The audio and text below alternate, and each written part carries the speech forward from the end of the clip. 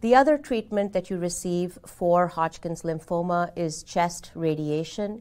Radiation can also cause cardiac problems in about 15% of Hodgkin's lymphoma survivors. Unfortunately, this happens about 10 to 20 years after you have been treated, and therefore you often think at this point that you're a well person, but then the complications start to kick in. These complications can include premature coronary artery disease or blocking up of the blood vessels to the heart. This can lead to angina or chest pain or heart attacks. You can also get thickening of the valves of the heart, and this can lead to either tightening of the valves or leaky valves, both of which can lead to heart failure.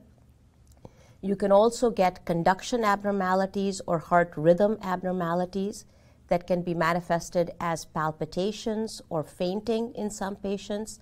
If you had radiation of the neck as part of your treatment, you can also develop narrowing of the blood vessels to your brain, and this can increase your risk for stroke.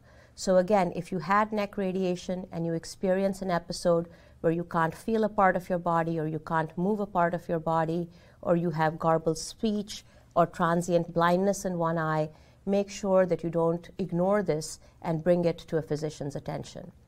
And lastly, the radiation itself can cause scarring of the heart muscle and cause thickening of the heart muscle such that it becomes more stiff, and this too can lead to heart failure or symptoms of fluid retention.